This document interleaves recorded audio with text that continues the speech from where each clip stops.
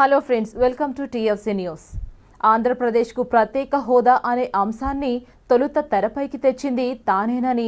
కానీ ప్రస్తుత పరిస్థితుల్లో రాష్ట్రానికి హోదా వచ్చే అవకాశమే లేదని ఈ విషయం అన్ని రాజకీయ పార్టీలకు తెలుసని లోక్సత్తా వ్యవస్థాపకుడు జయప్రకాష్ నారాయణ అన్నారు.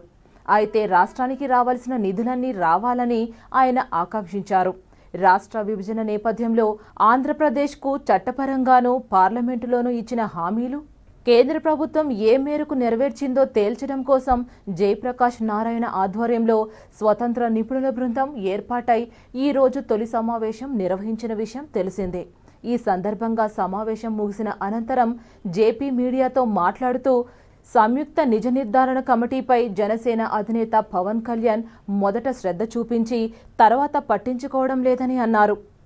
జేఎఫ్సీ నివేదిక ఇచ్చిన తర్వాత దానిపై పవన్ ఎలాంటి చర్యలు తీసుకోవడం లేదని అందువలనే తాను స్వతంత్ర నిపుణుల కమిటీ ఏర్పాటు చేశానని జేసీ తెలిపారు.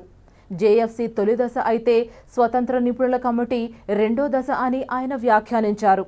అయితే కేంద్ర ప్రభుత్వం సమయం ఇస్తే తాము వెళ్ళి కలిసి ప్రత్యేక హోదా గురించి నిధుల గురించి చర్చించడానికి సిద్ధమని తెలిపారు. మరిన్ని ఇంట్రెస్టింగ్ అప్డేట్స్ కోసం please like share comment and subscribe TFC news. Música